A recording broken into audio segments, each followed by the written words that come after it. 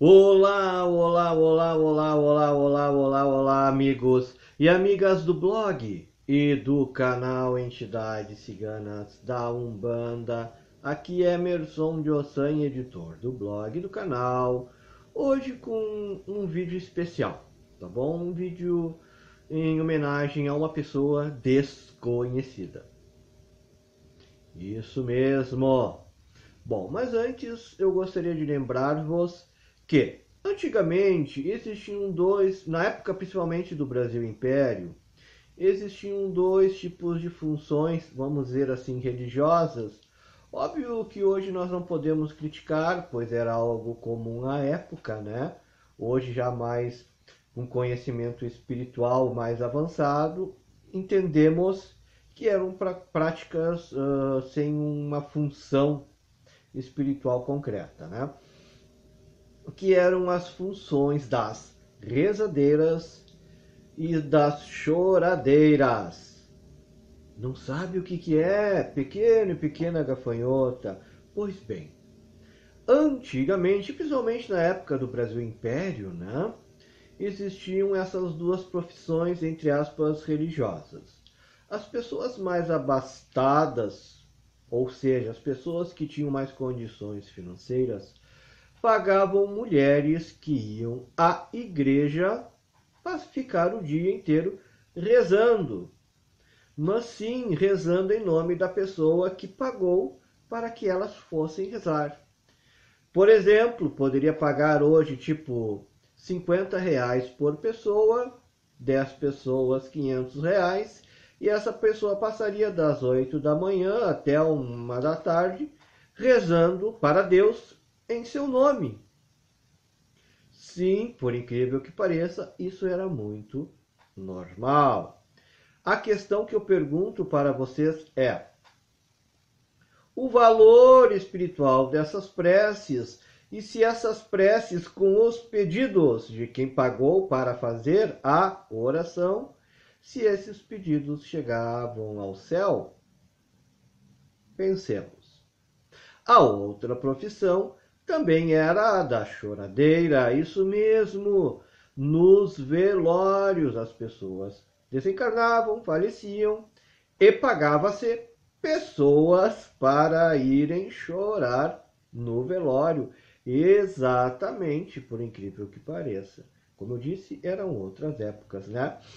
E dentro do pagamento constava o choro copioso, como se ali fosse o ente mais querido e amado do mundo tivesse falecido.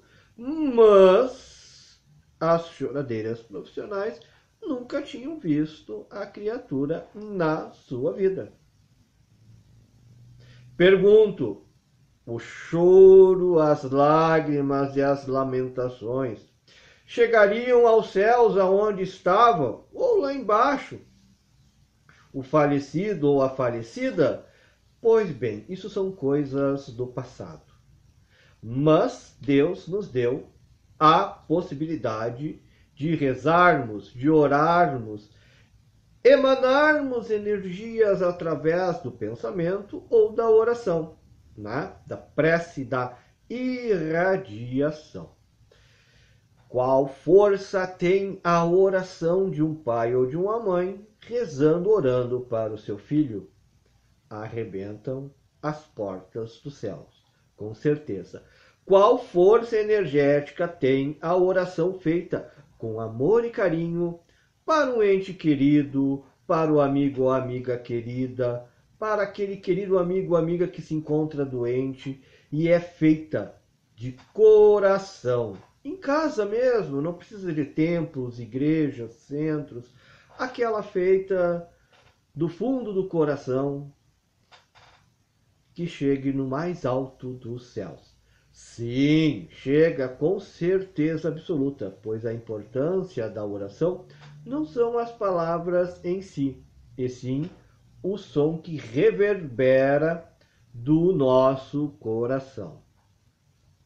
Dito isso, farei uma prece, uma oração, uma irradiação, uma evocação ao clã do cigano Igor para uma pessoa desconhecida.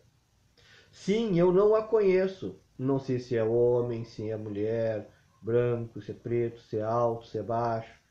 Não sei quem é a pessoa. Essa pessoa se, ela se encontra nesse exato momento em um país muito longe daqui. Um país conhecido como Luxemburgo. E essa oração eu farei para você que está aí. Sim, é um dos nossos seguidores ou seguidoras. Por isso que eu, eu só sei o país. Então eu farei essa oração em sua homenagem, isso mesmo. Não sei seu nome, não sei quem tu és, né? Não sei como vives, não sei do que se alimenta, não sei tomando café da manhã, não sei se olha o nosso canal e o blog ou pelo celular ou por computador, não sei. Mas o que eu sei é que eu vou te enviar agora uma prece em agradecimento. Nós dois sabemos o agradecimento. E essa prece, sim, é do fundo do meu coração. É com gratidão, com emoção, com toda a energia positiva possível emanada, farei esta prece através da evocação, principalmente relacionado ao meu povo cigano, que por coincidência hoje nós teremos a consulta de cartas ciganas e foi, foram os escolhidos, na verdade, eles se escolheram participar da nossa irradiação, vamos dizer assim, energética do povo cigano. Lembrando que eles estão aqui, um, principalmente também, uh, trazendo toda a nossa egrégora espiritual por trás. Meus orixás, Pai Ossan e Mãe Oxum, Pai Bará, meu caboclo Pai Ogum da Lua, Pai Joaquim, meu preto velho, Exu Marabô, Pombagira da Praia, né, a sua falange toda espiritual, Cigano Igor e o seu clã cigano. Ou seja, essa evocação será para todos os meus guias espirituais que seguem o blog, o canal, né? E a minha vida espiritual. Faço essa evocação energética, esta oração, essa prece em sua homenagem, sem mesmo lhe conhecer. Sabendo-se que és você mesmo que está vendo este vídeo, Peço então a sua conexão com nossos guias aqui espirituais, principalmente no cigano Igor, e receba essa prece que eu te envio com muito amor no coração e gratidão. A partir deste momento, peço e rogo ao clã de Cigano Igor, Cigano Pablo, Cigano Natan, Cigana Sarita, Cigana Rosita, Cigana Nissa, Cigana Sete Saias,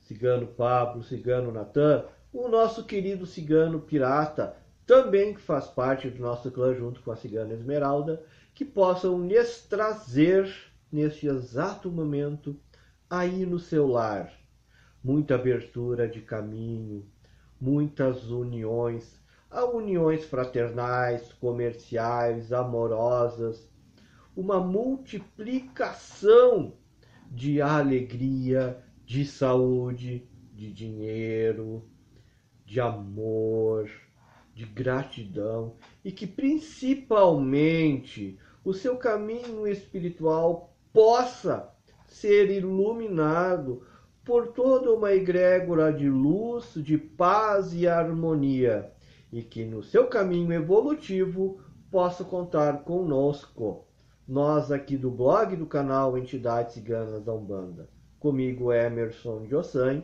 editor do blog do canal, e dos nossos guias espirituais, pois sem eles não haveria esse canal e esse blog. E que eles possam lhe iluminar e agradecer as bênçãos enviadas. E as bênçãos que nós podemos lhe enviar com a mais profunda gratidão, pode ter certeza absoluta, é essa prece de gratidão. Gratidão, gratidão e gratidão. Um abraço para Luxemburgo de Emerson Jossan, editor do blog do canal Entidade Cigana da Umbanda, e para essa pessoa especial. Um abraço a todos e até o próximo vídeo.